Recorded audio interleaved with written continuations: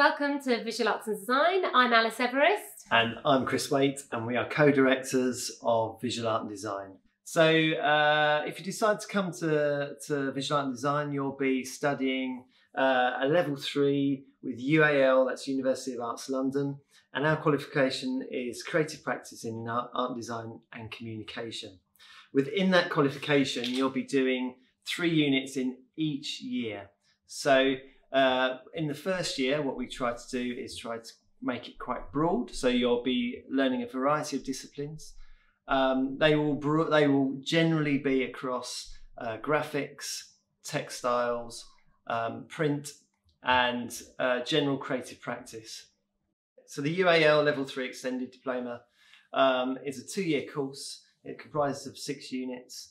Um, and within each year, one and two, you have to sit a final major project. All the grades do count, but the major grade is taken from your final major project.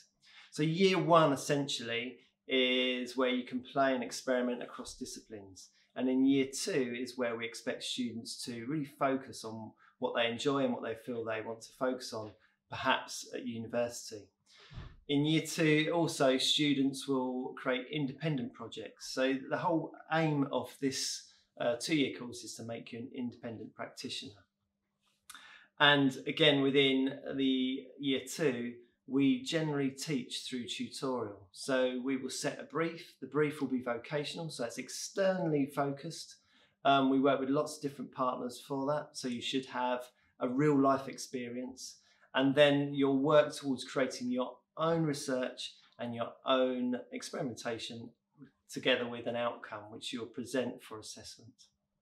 We believe uh, good learning is experiential learning, so we encourage all our students to go out and visit places, for example, like galleries, museums, uh, places of historical relevance, um, just as a starting point to get those influences and to make sure they've got something to base their learning on.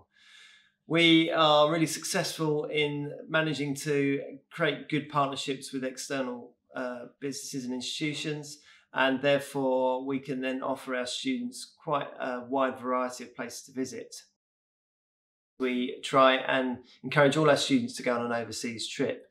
And we've been to a variety of places from Barcelona, Paris. Berlin, Paris, um, and ensure that all the students get to experience the cultural history all the museums, the galleries, as well as the food, the lifestyle, etc. So the important thing that we need to let you guys know is um, about the facilities that we have that you obviously can't physically come in and look at and enjoy. Um, we've got a full Mac suite, Mac room that we work with, with the full Adobe suite.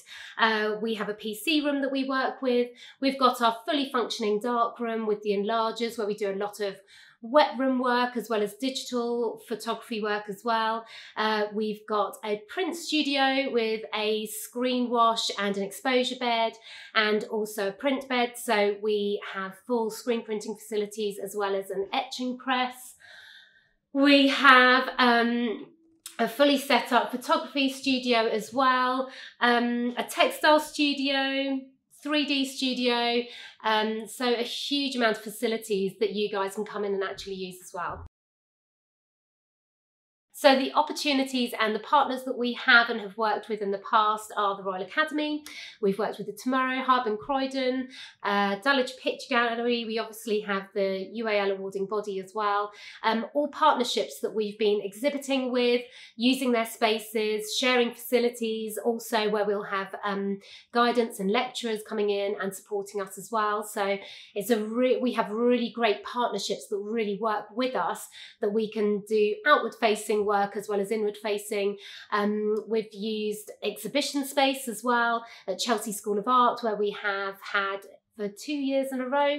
Uh, really, really fantastic exhibitions with lots of people present, um, as well as Dulwich Picture Gallery, Royal Academy of the Arts with their Mayfair Arts Weekend uh, that we've been involved in as well. So huge amounts of external opportunities as well that um, are really present within our visual arts and design department. So many of our students go on to their first choice of um, university or further education or higher education course. Um, also, we have a small percentage of students will, that will go on to a vocational subject or they'll also want to go into the world of work. Um, and we really feel that they've been massively prepared for this within their portfolios, with the experience they've had. Um, again, with our briefs, we make sure that they are always vocational, they're always really open, uh, so that our students get that real working experience. Also, with this course as well, they do have in year two a section where they do have some work based learning whether that's in communication with employers, employees, um, and that they're part of their assessment. They have this kind of experience where they're working with the workplace as well. Um, also, more importantly, the feedback that we've had from universities through our students about our, their portfolios. Uh, many institutions talk about their variety, the fact that they're not just about outcome, it's about the process. So they understand that although they're maybe going into fashion, they've got beautiful photography work going through their portfolios as well as some sculptural pieces. So that's a really important piece of feedback that we've had as a course as well. Our university partners are uh, predominantly UAL, so it's University of Arts London, so it's uh, Central St Martin's, Camberwell, Chelsea, LCC. Um, but we also have really great relationships with Falmouth, um, Glasgow, um, and Brighton. Um, predominantly, uh, we like to get universities to, to come into us um, so they can they can get a feel of how our students. But we believe here that it gets you a foot in the door. And looking at our our ninety four percent success rate, it proves that we are doing something right. So our students um, we've got a piece here about our alumni. We kind of talk about our students about the fact that they may be quiet, but they make impact within the visual arts and creative worlds. Whether they become incredible photographers, a student who now is making uh, leather pouches, um, kind of portable bags that he's now got in Selfridges, um, to uh, a student that has recently just left CSM, where she was doing fashion, but actually she was starting to create incredible uh, furniture pieces um, out of wood and did these beautiful kind of shadow films uh, that she produced for her graduate show that actually had to go online. So um, they're really, really exciting people that are really good at being um, versatile. They can think on their feet. Um, they're really excited and exciting. Um, they've got a lot of energy about them but they're willing to take on lots of different things. And I think that's the really exciting thing about our course and what happens to our students. We introduce them to huge amounts of different areas through printmaking, photography, textiles, fashion. Um, we go through the digital arts with them, parts of performance art as well. And with that, they become these really interesting learners that even though they go on to degree courses, it doesn't mean that they have to stick to their one area of expertise. They really push the boundaries of their expertise into different areas and become successful in so many different things. So when it comes to who who we want on on our courses, we don't want that finished product. We don't want the kind of person that's already a complete expert in something. Um, we're looking for people that we can really encourage and develop and they can process. So we have a whole variety of students that usually join us. Um, from loads of different disciplines, um, from loads of different areas. And um, that's what makes the course really interesting as well and exciting because you bring a whole pool of different people together and just start seeing what they create. And with our staff, they are really versatile and they they reflect on that and they look at that type of student and the different group of students that they've got and that's how we start to develop the course for that group of students that year so each year it almost becomes bespoke to our students which is probably really well it's massively unusual for a school to do um, so that's something we're hugely proud of as our, within our department and within our school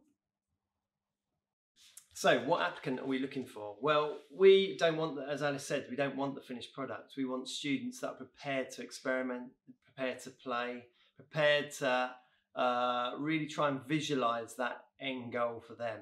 We automatically presume that you want to work within the arts, so therefore, we are very much pushing you to experience what the industry is like. So, when you apply to us, Um, you'll be applying for one course only, so visual art and design, hopefully. Um, and we ask you to fill in your own form and be really clear with those questions. Make sure that you don't write small amounts. Make sure you write a real clear, precise answer to the questions that we give you. Once we've had your received your application form, uh, we will we will look through it. We'll select the students to come for interview, and on that interview day, um, we will ask you to do a workshop as well as present and prepare a portfolio for us. Um, we would generally ask our students to present that portfolio online first, so we can see that with your application form. And then what we will ask you to bring uh, some more work with you on the day.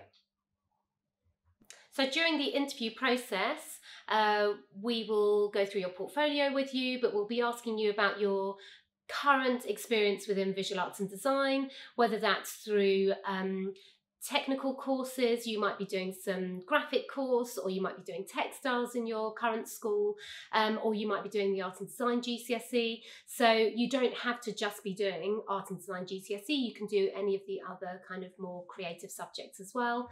Um, and also, we'll just be asking you questions maybe about exhibitions and artists, um, and also uh, your thoughts on the interview and whole workshop process.